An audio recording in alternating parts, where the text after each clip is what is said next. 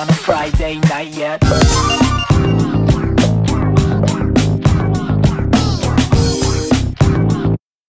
Three, two, one, go!